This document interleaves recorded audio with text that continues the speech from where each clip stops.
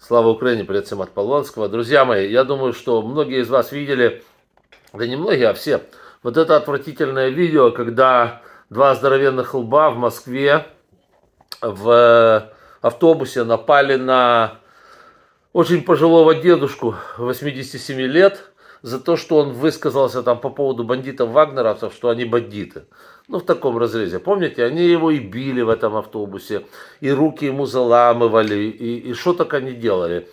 Э, как результат там была написана жалоба, как оно у них там называется, следственный этот шманитет или комитет, или как оно там, господи, не суть важно.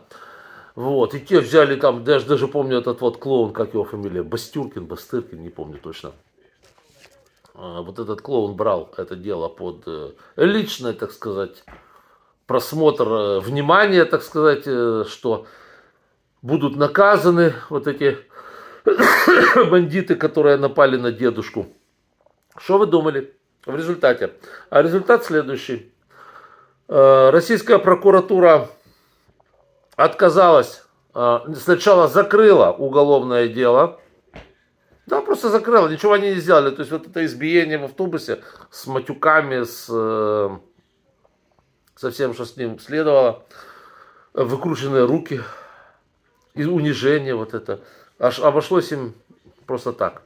А потом, когда пошла жалоба от адвокатов и так далее, прокуратура повторно отказалась, отказалась возбуждать уголовное дело в отношении бандитов. Вот, собственно, и все.